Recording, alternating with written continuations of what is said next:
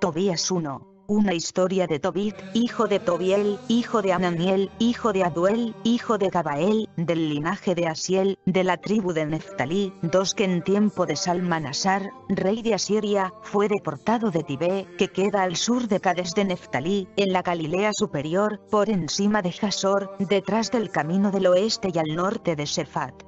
3 Yo, Tobit, he andado por caminos de verdad y en justicia todos los días de mi vida y he repartido muchas limosnas entre mis hermanos y compatriotas, deportados conmigo a Nínive, al país de los asirios. 4 Siendo yo joven todavía y estando en mi país, en la tierra de Israel, toda la tribu de mi padre Neftalí se apartó de la casa de David y de Jerusalén, la ciudad elegida entre todas las tribus de Israel para ofrecer allí sacrificios y en la que había sido edificado y consagrado, para todas las generaciones venideras, el templo de la morada del Altísimo. 5. Todos mis hermanos y la casa de mi padre Neftalí ofrecían sacrificios al becerro que Jeroboam, rey de Israel, había hecho en Dan, en los montes de Galilea. 6. Muchas veces era yo el único que iba a Jerusalén, con ocasión de las fiestas, tal como está prescrito para todo Israel por decreto perpetuo en cobrando las primicias y las crías primeras y diezmos de mis bienes y el primer esquileo de mis ovejas, acudía presuroso a Jerusalén 7 y se lo entregaba a los sacerdotes, hijos de Aarón, para el altar daba a los levitas, que hacían el servicio en Jerusalén, el diezmo del vino, del grano, del olivo, de los granados, de los higos y demás frutales. Tomaba en metálico el segundo diezmo, de los seis años, y lo gastaba en Jerusalén. 8. Entregaba el tercer diezmo a los huérfanos, a las viudas y a los prosélitos que vivían con los israelitas se lo llevaba y entregaba cada tres años, celebrando una comida con ellos conforme a lo que se prescribe en la ley de Moisés y conforme a los preceptos que me dio Débora, madre de nuestro padre Ananiel, pues mi padre había muerto dejándome huérfano. 9. En llegando a edad adulta, me casé con Ana, mujer de nuestra parentela, y ella dio a luz a Tobías. 10. Cuando la deportación de Asiria, yo también fui deportado y me trasladé a Nínive.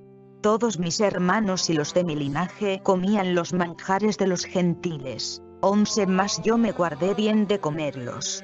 12 como yo me acordaba de Dios con toda mi alma, 13 me concedió el Altísimo gracia y favor ante Salmanasar, y llegué a ser procurador suyo. 14 me trasladé a Media y administré allí sus negocios hasta su muerte, y deposité en Ragués de Media, en casa de Gabael, hermano de Gabri, unos sacos de plata por valor de 10 talentos. 15 muertos al Manasar, le sucedió en el trono su hijo Senaquerib. En su reinado, los caminos de Media se hicieron inseguros y no pude volver allí.